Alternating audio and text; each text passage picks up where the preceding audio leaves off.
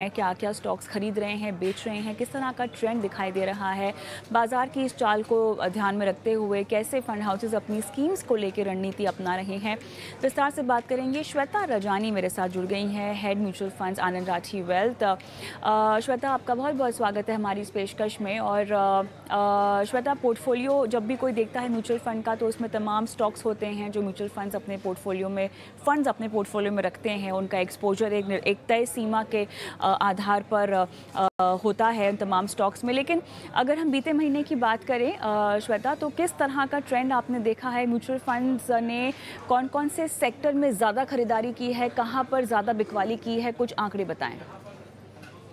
जी, कविता जी तो अगर हम पिछले महीने की बात करें तो यू नो ज़्यादातर फंड्स में देखा गया कि अगर मैं सेक्टर की बात करूँ तो कुछ सेक्टर जहाँ यू नो काफ़ी स्टॉक खरीदे गए pharmaceutical finance banking and financial services में मैं फाइनेंशियल सेक्टर की बात कर रही हूँ ऑटो या ऑटो कंपोनेंट्स हो गए इलेक्ट्रिक इक्विपमेंट्स हो गए, ये तीन चार सेक्टर थे जहाँ पे हमने देखा है ज़्यादा करके फंड मैनेजर ने फंड मैनेजर्स ने स्टॉक खरीदे हुए हैं। और यू नो अगर हम बात करें तो ये सेक्टर्स में एक चीज़ कॉमन जो ये भी रही, देखी गई कि यहाँ की जो कंपनियाँ हैं वहाँ वैल्यूएशन बहुत ही अट्रैक्टिव है, जिसके कारण से एक यू नो हो सकता है कि फंड मैनेजर्स ये परचेज कर रहे हैं। श्वेता ये बताइए कि अब यहाँ पर जो रणनीति आप बता रही हैं म्यूचुअल फंड्स ने अपनाई है ये किस किस कंपनियों को आपको पर लग रहा है आपको कि बेट ज़्यादा दिखाई दे रहा है? क्योंकि अब माहौल बाज़ार में ऐसा है कि एक तो उतार चढ़ाव बहुत ज़्यादा है श्वेता। एक दिन बाज़ार चढ़ता है और एक दिन बाज़ार गिरता है बाद में वापस रिकवरी भी कर जाता है। अब ऐसे में जो ट्रेंड दिखाई दे रहा है वो काफ़ी वॉलेटाइल है और ये तो बाज़ार की फितरत ही है उतार चढ़ाव ना? अब ऐसे में ये भी कहा जा रहा है कि बहुत सारी स्कीम्स जो हैं या बहुत सारे फंड मैनेजर मैनेजर्स जो हैं, वो थोड़ा सा पैसिव की ओर अपने पोर्टफोलियो को झुकाने की भी कोशिश कर माफ़ कीजिएगा लार्ज कैप की ओर पोर्टफोलियो झुकाने की भी कोशिश कर रहे हैं। मिड कैप स्मॉल कैप में हो सकता है वैल्यूएशंस बहुत ज़्यादा आकर्षक अब नहीं रह गए हैं। हालाँकि पॉकेट्स में चुनिंदा कुछ हो सकते हैं जहाँ पे आपको आकर्षण दिखाई दे। बट मोटा सवाल अब यही है कि क्या खरीदारी आपको लार्ज कैप कंपनियों में ज़्यादा होती हुई दिखाई दे रही है, जो आपने अभी डेटा दिया है? जी, अगर हम पिछले महीने की बात कर रहे हैं तो आपने जो बात कही वो बिल्कुल सही है कि लार्ज कैप स्टॉक्स में जो परचेजेस हुई है, वो ज़्यादा है। लेकिन एक कारण हो सकता है कि यू नो स्मॉल कैप और मिड कैप मार्केट इतना भाग गए हैं पिछले दस महीनों में तो यू नो पोर्टफोलियो रीबैलेंस करने के हिसाब से भी लार्ज कैप की परचेजेस हुई। लेकिन जब एम्फी का डेटा आया, उसमें आपने देखा होगा कि लार्ज कैप कैटेगरी में जो नेट फ्लोज आए मतलब जो नई खरीदारी हुई है फंड्स में जो निवेशकों ने इन्वेस्टमेंट करी है लार्ज कैप कैटेगरी में ज़्यादा हुआ है। और तो उस कारण भी ये जो फंड्स हैं, जैसे लार्ज कैप फंड हो गए फ्लेक्सी कैप फंड हो गए, जिनमें लार्ज कैप वेटेज करीबन 70 से 90 परसेंट की होती है, वहाँ पैसे ज़्यादा आए हैं तो वहाँ पे उस कारण से भी जो लार्ज कैप स्टॉक्स की परचेजेस हुई है ज़रूर ज़्यादा हुई है। कुछ स्टॉक्स जहाँ हमने देखा कि ज़्यादा करके फंड मैनेजर्स ने परचेज किया मतलब मैं कहूँगी कि 10 से ज़्यादा फंड मैनेजर्स ने जहाँ परचेज किया कुछ ऐसे स्टॉक्स यू नो अगर मैं आपको कहूँ तो O N G C P F C ये काफ़ी uh, देखे गए कि you you know know, uh, ये बहुत ही सारे फंड मैनेजरों ने ऐसी कंपनियाँ खरीदी है। तो जैसे मैं कह रही थी ना फाइनेंस की कंपनियाँ एन एच पी सी भेल पावर कॉरपोरेशन ये uh, कुछ ऐसी कंपनियाँ थी जहाँ बहुत ही फंड मैनेजर्स ने खरीदारी करी। और हाँ एक शिफ्ट तो हुआ है लार्ज कैप की तरफ़। और राइट तो अब यहाँ पर जो म्यूचुअल फंड्स खरीद रहे हैं, बेच रहे हैं, इसका मतलब ये तो नहीं है ना श्वेता कि हमारे दर्शक भी ऐसा करना शुरू कर दें? हाँ? बिल्कुल नहीं ये नहीं होता। क्योंकि आप जब ये देख रहे हैं कि फंड मैनेजर ने क्या खरीदा या बेचा, वो उनका यू नो पाँच प्रतिशत या सात प्रतिशत का पोर्टफोलियो होगा। सौ प्रतिशत का पोर्टफोलियो नहीं है। और क्योंकि अगर कोई फंड मैनेजर कुछ स्टॉक बेच रहा है, इसका ये मतलब ये भी नहीं कि वो यू नो कंपनी अच्छी नहीं कर रही। हो सकता है वो वहाँ पे बस पाँच प्रतिशत की एलोकेशन चाहते थे लेकिन सात प्रतिशत हो गया है तो वो अपना पोर्टफोलियो रीबैलेंस कर रहे हैं। जो एक रिस्क मैनेजमेंट प्रैक्टिस है उनको करनी है। uh, उसी तरह से यू you नो know, जब वो कुछ खरीदारी कर रहे हैं वो उनके ओवरऑल स्कीम में कैसा बैठता है ये बस वो एक फंड मैनेजर जानता है। सो so, uh, बिल्कुल अगर आप एक इंडिविजुअल इन्वेस्टर है तो जस्ट बिकॉज़ एक फंड मैनेजर कुछ खरीद रहा है या बेच रहा है ज़रूरी नहीं आपको वही रेप्लिकेट करना चाहिए अपने स्टॉक पोर्टफोलियो के लिए। तो श्वेता अब जिस तरह से हमने लार्ज कैप की बात की है मिड कैप स्मॉल कैप में वो चुनिंदा स्टॉक्स क्या होंगे जो खरीदे गए हैं और बेचे गए हैं? जी यू नो अगर हम मिड और स्मॉल कैप सेगमेंट की यू नो बात कर रहे हैं तो कुछ कंपनियाँ जैसे मैं कहूँगी you know LIC housing finance H D F C के यू नो कुछ कंपनियाँ B S C InterGlobe Aviation यहाँ पे भी कुछ खरीदारी और बेचे गए हैं स्टॉक्स तो वो सेगमेंट में, जैसे मैंने कहा, बहुत सिलेक्टिव है, जहाँ वैल्यूएशन गैप बहुत अट्रैक्टिव है। वहाँ पे हमने यू नो थोड़ी बहुत एक्शन देखी पिछले महीने। और ऐसे में कुछ स्कीम्स ऐसी आप हमको बताना चाहेंगी जहाँ पे सेक्टर स्पेसिफिक डाइवर्सिफिकेशन बढ़ा है, कम हुआ है? बिल्कुल तो जैसे जैसे यू नो सेक्टर का व्यू फंड मैनेजर का बदलता है, उसमें हम देखेंगे कि यू नो वो एक्टिवली अपने सेक्टर कॉल्स भी चेंज करते हैं। जैसे यू नो कुछ फंड्स के नाम अगर मैं आपको कहूँ डीएसपी एक्विटी अपॉर्चुनिटीज़ में अगर आप देखेंगे तो आज के दिन पे यू नो टेक्नोलॉजी में वो अंडरवेट रहे हैं, वहाँ धीरे धीरे थोड़ी एलोकेशन उनकी बढ़ रही है। कॉन्ट्रा फंड एसबीआई का इसके अलावा अगर हम देखें कैनरा को फ्लेक्सी कैप तो यहाँ पर हमने काफ़ी हद तक यू नो देखे गए हैं कि फंड मैनेजर्स बहुत ही स्विफ्टली या एक्टिवली अपनी सेक्टर एलोकेशन चेंज करते हैं, अपनी मार्केट कैप एलोकेशन भी चेंज करते हैं। तो यू नो हर कैटेगरी के मैंने आपको कुछ एक आधा फंड्स बताए यहाँ पे। अब ऐसे में श्वेता ये बताइए कि इस तरह के खरीदने और बिकवाली की रणनीति क्या हर महीने म्यूचुअल फंड्स जो हैं वो अपनाते हैं और तमाम स्कीम्स में ये रणनीति अपनाई जाती है? या ऐसा भी होता है कि फ़ंड मैनेजर्स कुछ महीने ऐसे भी कॉल लेते हैं जब उन्हें कोई बदलाव नहीं करने होते? ज़्यादा करके यू you नो know, अगर हम एक्टिव फंड की बात करें तो वहाँ पर आप देखोगे कि फंड मैनेजर की रणनीति यही रहती है कि यू नो कुछ ना कुछ हम खरीद रहे बेच रहे हैं। ये इस कारण भी होता है क्योंकि फ्लोज आ रहे हैं। तो यू नो उन्हें वो एलोकेशन करनी है पोर्टफोलियो रीबैलेंस करना है। तो एक्टिव फंड्स में मैं आपसे कहूँगी कि एक पोर्शन तो ये रहेगा ही जहाँ आप देखोगे कि यू नो कांस्टेंट नहीं है। कोई ऐसा फंड मैंने नहीं देखा जहाँ पे एक महीने में कोई भी एक्शन ना हुआ हो अगर वो एक एक्टिव फंड है तो। और ऐसा मैंडेट है कि महीने ही महीने वो कर सकते हैं बीच में नहीं कर सकते? बीच में भी तो महीने के बीच में भी वो चेंजेस करते हैं अपने पोर्टफोलियो में। पर वो जानकारी पब्लिक डोमेन में वैसे नहीं मिलती कि उन्होंने यू नो दस तारीख को क्या खरीदा या बेचा। पर उस महीने के अंत में हमें पता चल जाता है कि पिछले महीने उन्होंने यू नो क्या एक्शंस लिए हैं अपने पोर्टफोलियो में। तो वो ज़रूर होता है। खाली शुरुआत में या अंत में नहीं है। यू नो वो महीने के दौरान कभी भी जहाँ उन्हें अपॉर्चुनिटी दिखती है, वो एक्शंस लेते रहते हैं अपने पोर्टफोलियो में। अच्छा श्वेता एक ये टर्न अराउंड रेशियो भी होता है आ, आ, जो हम फंड्स का देखते हैं। अगर वो रेशियो बहुत ज़्यादा होता है तो इसका मतलब ये है कि वो फंड में बहुत ज़्यादा चर्निंग हुई है। कहीं ना कहीं फंड मैनेजर रणनीति को लेकर ज़्यादा विश्वास नहीं रख पा रहे हैं। क्या मतलब होता है इसका? जी ये आपने एक एक्चुअली बहुत इंटरेस्टिंग बात पूछी और जो टर्नओवर रेशियो पब्लिश होता है उसमें मैं कहूँगी यू नो दो पार्ट्स होते हैं। एक होता है टोटल टर्नओवर रेशियो जहाँ पर यू नो जो कैश एलोकेशन है कैश से फंड खरीदा गया या कुछ बेचा गया तो कैश में वापस पैसे आए, और वो पार्ट भी इंक्लूडेड होता है। तो जब आप ये टर्नओवर रेशियो देखेंगे तो ये ज़्यादा बड़ा दिखता है, क्योंकि इसमें कैश से निकलना और प्लस इक्विटी में आना जाना दोनों ही कैप्चर होता है। और दूसरा एक टर्नओवर रेशियो होता है जो खाली इक्विटी का टर्नओवर रेशियो होगा। तो जो इक्विटी वाला टर्नओवर रेशियो होता है वो ज़्यादा ज़रूरी है समझने के लिए कि फंड मैनेजर क्या रणनीति अप्लाई कर रहे हैं। जो ज़्यादा करके मेरे हिसाब से यू नो पब्लिक डोमेन में नहीं होता, जो टोटल टर्नओवर रेशियो है, वो पब्लिक डोमेन में रहता है, लेकिन उससे आपको सही जानकारी नहीं मिलेगी। क्योंकि यू नो जिस फंड में अगर किसी महीने बहुत ज़्यादा कैश आया तो उसका टर्नओवर रेशियो भी बढ़कर दिख सकता है। बट हाँ अगर एक फंड का टर्नओवर रेशियो बहुत लो है तो वो मैं कहूँगी कि यू you नो know, वो एक आपके लिए ट्रिगर पॉइंट है कि ये फंड मैनेजर uh, क्या यू you नो know, वही स्टॉक्स को बैठे रखे हैं अपने पोर्टफोलियो में वो कम एक्शन ले रहे हैं तो वो मेरे लिए एक ज़्यादा यू नो चिंता की बात रहेगी अगर मैं लो टर्नओवर रेशियो देख रही हूँ बट uh, अगर आप हाई टर्नओवर रेशियो देख रहे हैं तो ये जानना ज़रूरी है कि वो इक्विटी टर्नओवर रेशियो है या वो कैश की वजह से हुआ है। तो श्वेता ये जो डेटा हर महीना पब्लिश होता है तमाम पब्लिक डोमेन्स में आता है अब ये बताइए कि एक इन्वेस्टर को क्या ये डेटा पढ़कर भूल जाना चाहिए? आ, या समझना चाहिए कि किस और बाज़ार अब बढ़ रहा है और म्यूचुअल फंड्स की क्या रणनीति है? उनके फंड की क्या रणनीति है? किस लिहाज से आपके मुताबिक ये जो डेटा है ये महत्वपूर्ण है?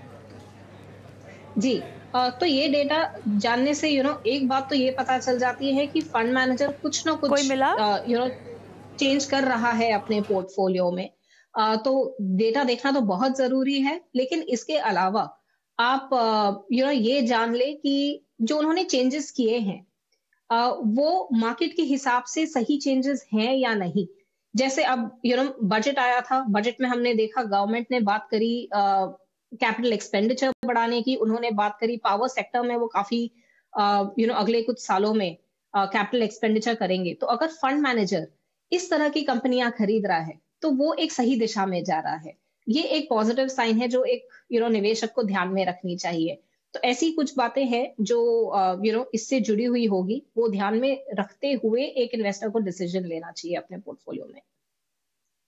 और राइट तो चलिए ये तमाम बातें जो म्यूचुअल फंड के लिहाज से और कहाँ कहाँ वो किस स्टॉक को बेच रहे हैं, खरीद रहे हैं, जो हमने आपको बताया क्लियरली एक झुकाव लार्ज कैप की ओर आता हुआ दिखाई दे रहा है। और बाज़ार में भले ही उतार चढ़ाव हो, लेकिन इस डेटा का मतलब ये नहीं है कि आप अपने पोर्टफोलियो में कुछ इसी तरह के एक्शंस लें। हालाँकि जानकारी के तहत अगर देखा जाए तो आपके फ़ंड में भी क्या बदलाव हो रहे हैं? फ़ंड मैनेजर्स क्या बेच रहे हैं? कैसे फ़ंड का पोर्टफोलियो बदल रहा है? इस पर आप भी नज़र डाल सकते हैं। बहरहाल, आगे बढ़ते हैं और अब चलिए सीधा रुक कर लेते हैं दर्शकों के सवालों की ओर। और, और हमारे साथ निधीश का सवाल पूछने के लिए उनके पिताजी हैं शायद फ़ोन लाइन पे। नमस्कार। नमस्कार। ओके ओके सो आपका नाम क्या है? उन्नी कृष्णन उन्नी कृष्णन जी ओके सो आपके पास केरोरा बेको का स्मॉल कैप है। H D F C Nifty fifty plan है आपके पास। एक साल से कर रहे हैं S I P Motilal Oswal mid cap और एक्सेस का फोकस्ड है।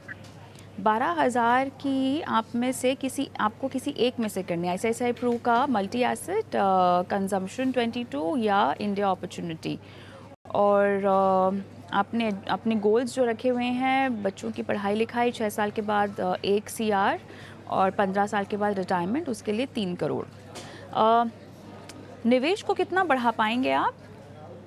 बढ़ा सकते हैं। लाइक एवरी ईयर अगर दस परसेंट या पंद्रह परसेंट बढ़ाना तो आई कैन डू दैट वो कर सकता हूँ मैं।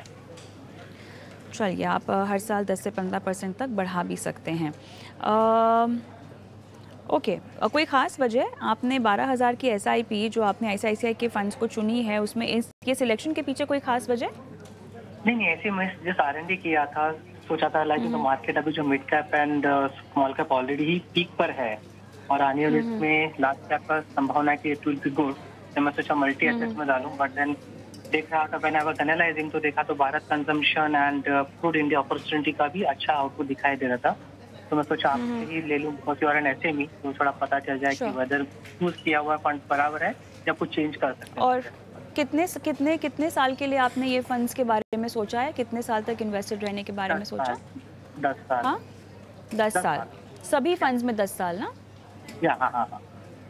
ओके ऑलराइट श्वेता बताइए क्या करना चाहिए इनको? गोल्स काफ़ी क्लियर हैं। छः साल में एक करोड़ पंद्रह साल में तीन करोड़। जी। आ, लेकिन यहाँ पे you uh, know you know, अब मैं जो इनके आंकड़े देख रही थी वो करीबन थर्टी सेवन थाउज़ेंड की हर महीने की एसआईपी कर रहे हैं।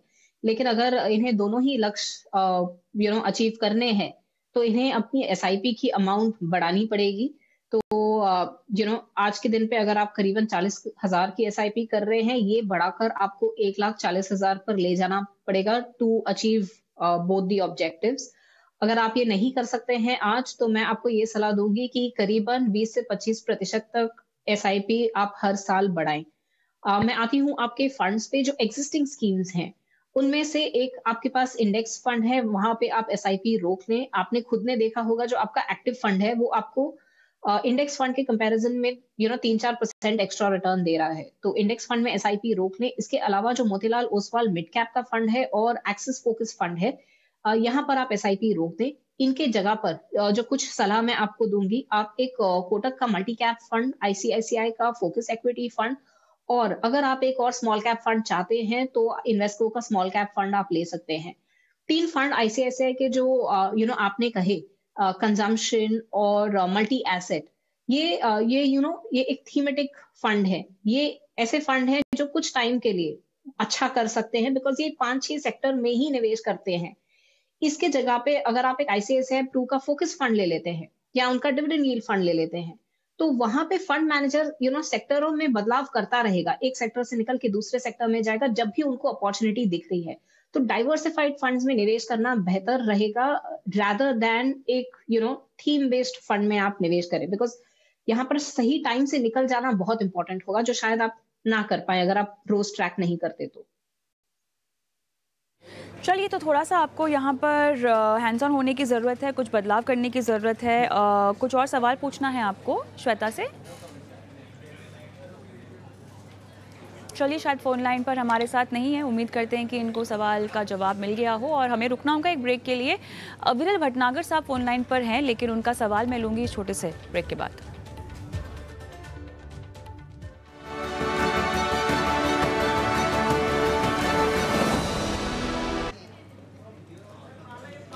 Welcome back. आप देख रहे हैं अपना फाइनेंस मिनिस्टर और चलिए सवाल जवाब के सिलसिले को एक बार फिर से शुरू करते हैं ब्रेक के बाद। और अविरल भटनागर हमारे साथ फ़ोन लाइन पर जुड़े हुए हैं। अविरल, बहुत बहुत धन्यवाद। आपने इतना लंबा होल्ड किया, हम ब्रेक पे चले गए थे।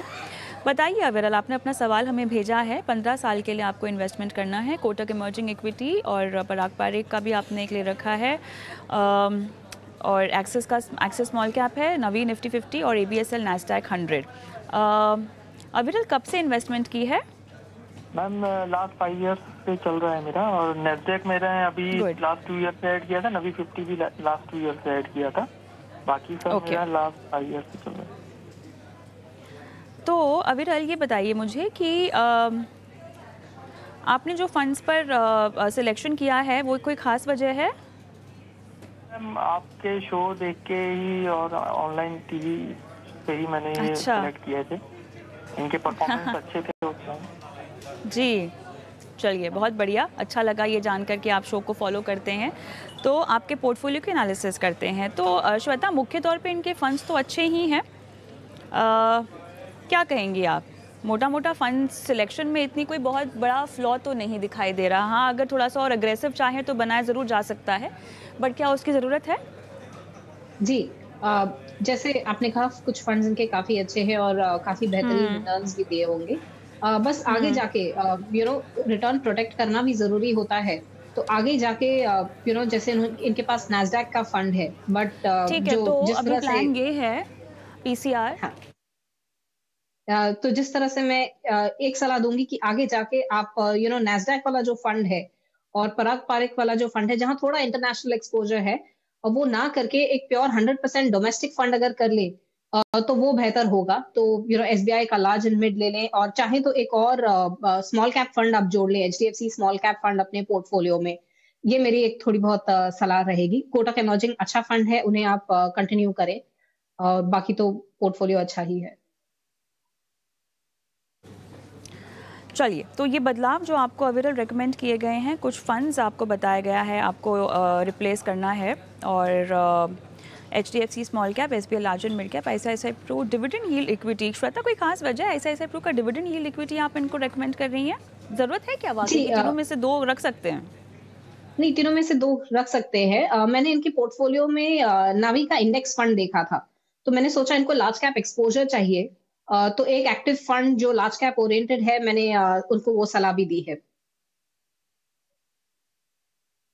अविरल कोई सवाल पूछना श्वेता को?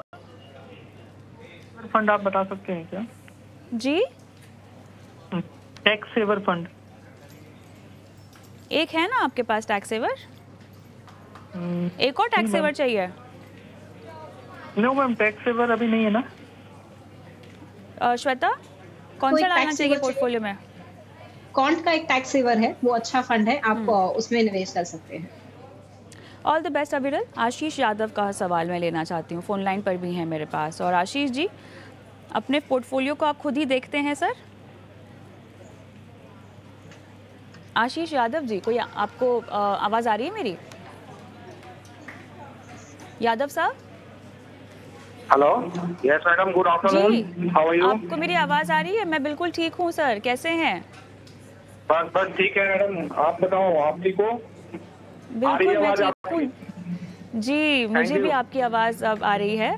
और मैं पूछ रही थी हाँ अपना पोर्टफोलियो आप खुद ही हैंडल करते हैं सर आगे मैडम खुद ही आपका शो देखता हूँ फिर अकॉर्डिंगली फिर उसमें कुछ चेंज करना है। मैं 2018 से कर रहा हूँ अभी म्यूचुअल फंड में इन्वेस्टमेंट तो काफ़ी आपका शो देखने के बाद काफ़ी पहले तो एक एडवाइजर के थ्रू किया था लेकिन उसके बाद आपका शो देखना चालू किया फिर मैं डायरेक्ट ही करता हूँ अपना पोर्टफोलियो हैंडल चलिए बहुत बढ़िया अच्छा लगा। आपको इतना कॉन्फिडेंस आ गया है कि आप डायरेक्टली हैंडल कर रहे हैं ट्रैक भी रख रहे हैं। तो 50 लाख रुपए आपको पाँच साल के बाद चाहिए और 50 लाख आपको चाहिए और पाँच साल के बाद। और कब से आप इन्वेस्टमेंट कर रहे हैं? 2018 से। क्या आपने 2018 से ही इस अमाउंट की एसआईपी कर रखी है कि आपने अपनी राशि को बढ़ाया भी है?